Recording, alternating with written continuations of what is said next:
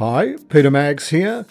Like many of us, I really enjoy a good coffee.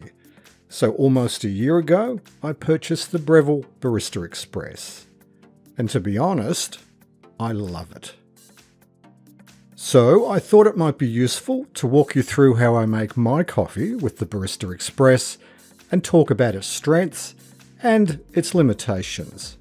First of all, I'm going to make sure there is sufficient water in the water tank. After turning on the Barista Express, it normally takes about 15 minutes for the machine to warm up before you can make a coffee. I like to flush the group head of the machine to clean out any residue coffee that might be left over in the system. We're now ready to make our first coffee for the day. Obviously, we're going to need our favourite coffee beans and a sealed container to keep them fresh. I also use scales to weigh my beans. And I brought a distributor tamper combo, which I found is a real time saver.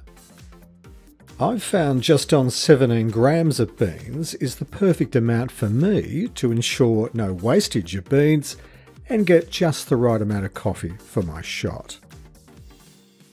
I can now add the weighed beans to the hopper. We can adjust the grind of the beans to be coarser or finer, but I've already set it to just the right amount for these beans after experimenting with gradual adjustments. We can also adjust the grind to the exact amount we're after. We can now grind our beans knowing that we'll exhaust what we've put into the hopper.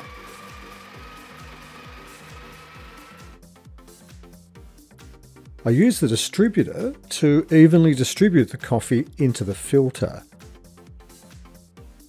And then turn the tool around to tamp the coffee to our desired depth. The portafilter can now be locked into place in the group head. After placing my latte glass under the portafilter, I select the 2 cup option as I'm after a stronger double shot. Just on 30 seconds later, my espresso has been extracted.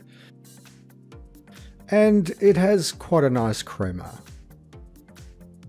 I'm now ready to make the milk for my latte. I definitely get better results with full cream milk and I make sure I only pour to the level just below the spout. When you turn on the steam wand, it will take 10 to 15 seconds before water starts to drip out, and another 20 seconds before it reaches full steam. This is a good way to purge the wand of any residual milk. Once we reach full steam, I quickly turn the steam wand off, insert the wand into the milk jug, and then quickly turn the steam wand back on. I try to add air to the jug early on and then lower the wand to get a nice vortex going. All the time I'm using my bottom hand to feel the temperature of the jug. Once it's almost too hot to touch, I know it's ready to turn off and remove the wand.